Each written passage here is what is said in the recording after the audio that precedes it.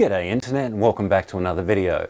So, toy knockoffs, specifically Transformers ones, where do they kind of sit? Well, as far as I can tell, at least within the Transformers community, they're not exactly shunned, but people do try and go after the genuine Takara and Hasbro products. But there are certain items that the third-party knockoffs do tend to cover, niche markets that Hasbro and Takara don't really seem that interested in. Now, I don't actually have that much experience in the third-party market when it comes to Transformers. I only have one, and that's my Starscream up here. He's a knockoff. So other than that, all my other ones are genuine Hasbro or Takara. But I did want to add a Devastator to my collection. But the only ones available genuine are either the original G1 or what seems to, the only other one it seems to be is the Combiner Wars one. Now, the Combiner Wars one is a few years old, but you can pick it up on eBay and Amazon and so forth on occasion. And at least here in Australia, it tends to run around the three to four hundred dollar mark. So while poking around on eBay just a few days ago, I came across a knockoffs Devastator for $140 delivered. And I thought, well, for $140, let's check it out. So I ordered it and here it is. It's made by NBK. It doesn't seem to have any particular thing on it other than saying TF Engineering. Um, but let's be honest, it's Devastator. So let's check it out. So here it is. This is straight out of the packing box. Just to give you an idea, this literally arrived on my doorstep about 20 minutes ago. I brought it inside, I pulled it out of its packing box, I set up the camera, I did about half a dozen goes at the intro, and here we are. So let's take a quick look at the box. We've got nice bit of kind of cartoony artwork, which is nice. Uh, NBK, TF Engineering, robot mode, construction truck mode, and combination mode, and a whole lot of, I'm assuming, Chinese lettering. Uh, we've got more here. Uh, we have pictures of the on the, the the vehicles on the back, and we have this here, which is your usual kind of product display. Although these don't look like photos, they look like that's not a photo. That's got to have been drawn. But well, let's crack it open and see what it looks like.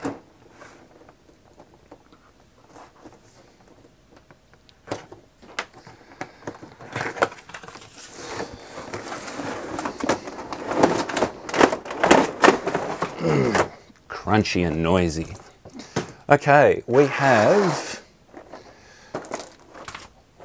all our, uh, Don't want to call them Constructicons, but let's be honest, that's what they are.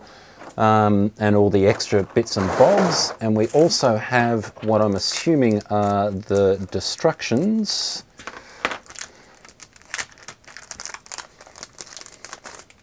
which I'm assuming to be quite plentiful given that we're talking about one, two, three, four, five robots. Six robots? Six. One, two, three. Okay, so we've got separate instruction manuals for all of them. Okay, let's remove the top bit of plastic, get you out of the way. That's kind of floating around inside, which is obviously Devastator's chess piece with a funky looking logo on the front. I hope you can see that. And here we go. So are these, okay, so they're not actually strapped in, uh, but all their guns are there. Let me actually pop some of these guns on their vehicles. No, that's not going to work. Right. Um, on you, you, you've got your gun, you don't seem to have a gun. Big mitts. You and you, and a couple more guns. So let's get this bit of plastic out of the way, and more plastic. And here we have our not Destructicons. and they're they're a really good size. I know this is the oversized one, but they do look kind of good. I like them. They've got a nice kind of cartoony look to them, uh, with still quite a reasonable amount of um, detail. They don't seem to. Um, the plastic seems of reasonably good quality. They roll okay. So, first impressions are actually quite good, but let's take a look at them one at a time. So, let's start with not Scrapper. Um, I haven't owned a Devastator for since I was a child, so I do have the instructions right next to me, and I would actually like to say that the instructions aren't horrible. They're actually pretty decent. So, Let's see if I can do this.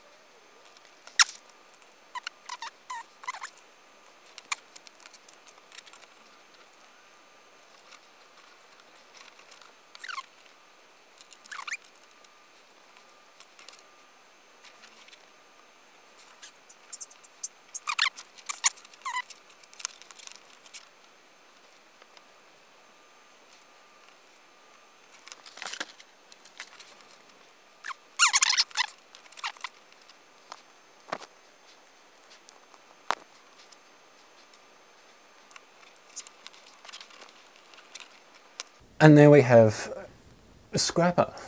Okay. What I said a minute ago about the uh, in, the instructions being quite good, I take all that back. Um, they're not bad. I just uh, I had struggle. Uh, had a bit of a struggle um, uh, working a couple of them out, but that's pretty good. I think I have his crutch around the wrong way. I think it's meant to be like that. Yes.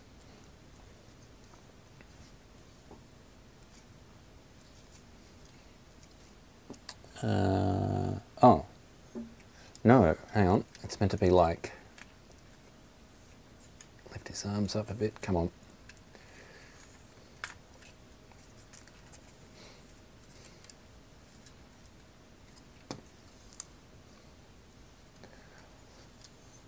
There we go. Now I've got it. Right. Got it on the second go. All right, I'm going to keep moving on the other ones uh, and we'll get back to all the robots. Now here they all are in their robot form. Now I'm just going to go through a few things that I came across as I was uh, transforming them. Uh, we'll take Scrapper to begin with. Um, his transformation isn't too bad, although he does have some serious sideways elbow action going on. That doesn't seem to lock in in any way. Um, the other one's tighter, but this arm here just flops around. Okay, these two guys here transform in a very similar manner. And the main thing I don't like is the way the legs fold in. The legs here, if we have a look just here, these two bits here slide all the way in from here and down and they just, you always feel like they're going to break and that one's not even sitting quite right. This guy here is not sitting quite right either and they were just constantly felt like they were going to break. So that wasn't a good thing and they were the first two I did. Um, poor old uh, Mixmaster here has the most atrocious feet. And that's how they sit as far as I can tell.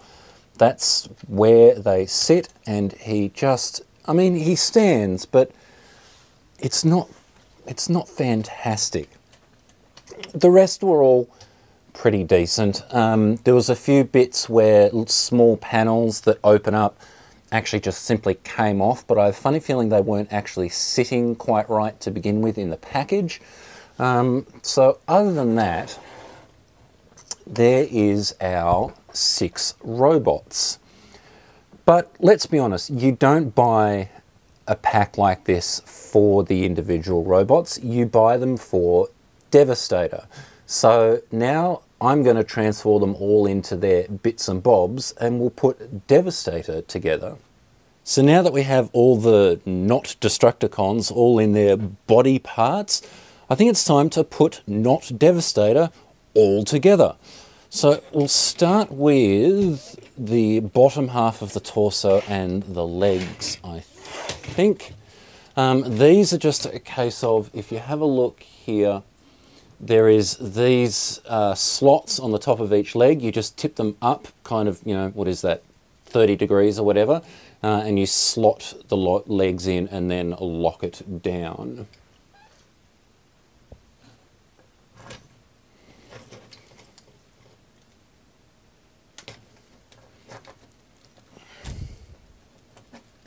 And then tilt forward to lock it in eventually. There we go, it's in. Tilt it down and it's locked in. Same with the other side. Slot it in, rotate it down, and we have a couple of fairly chunky legs. So the next bit is the top half of the torso. Okay, so this here has uh, a slot just there uh, and use two of these slots here and they lock into um, on here uh, these two little pins here and this guy here. There's also a flap that folds down and plugs into that little notch there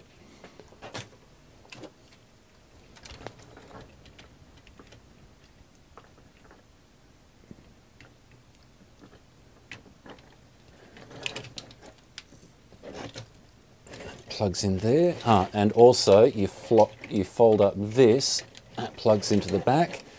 Uh, and like I said, there is one of these flaps here.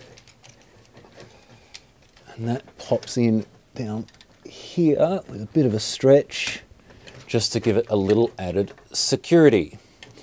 And there's Devastator starting to actually take shape. You can fold those down. Um, the arms just simply slot in with uh, some pegs just here.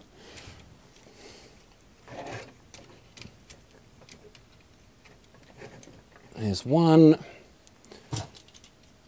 and two.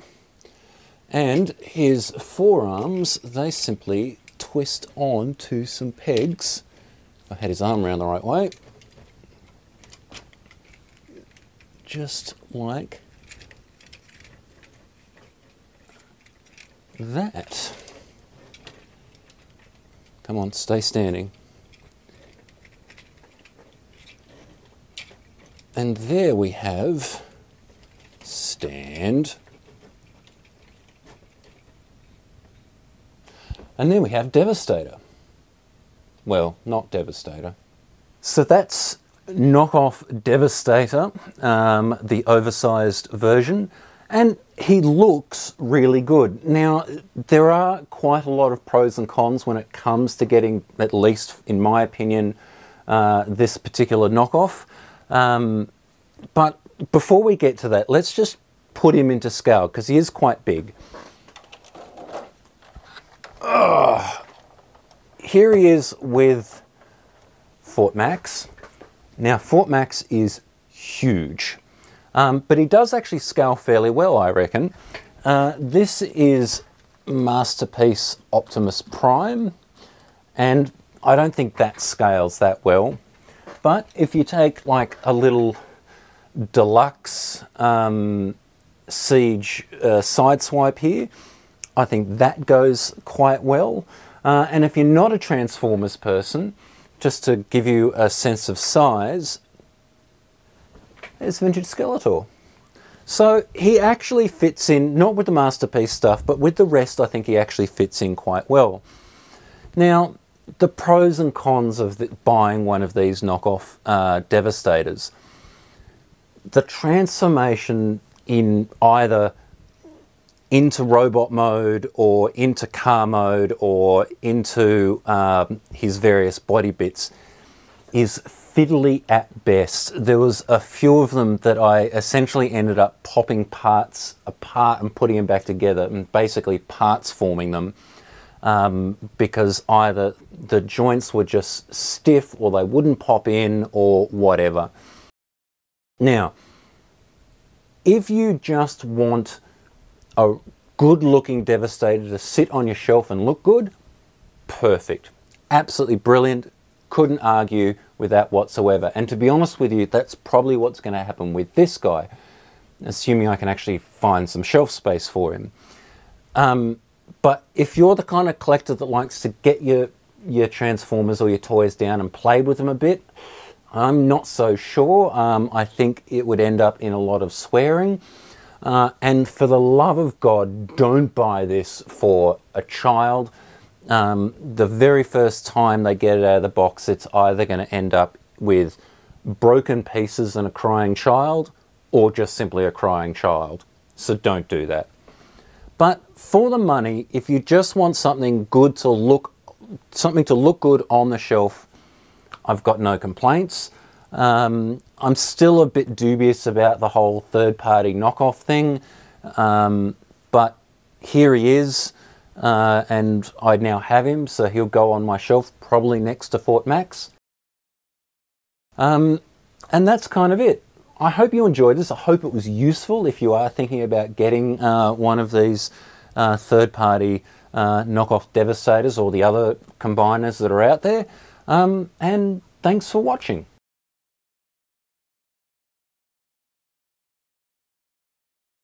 So before we wrap up this video, um, I've decided to do the whole social media thing. Um, and as well as Twitter, you can now find me also on Facebook and Instagram. Um, and I'm trying to get a bit more into my uh, toy photography again. Uh, so you might even be seeing this guy very soon. All right, thanks.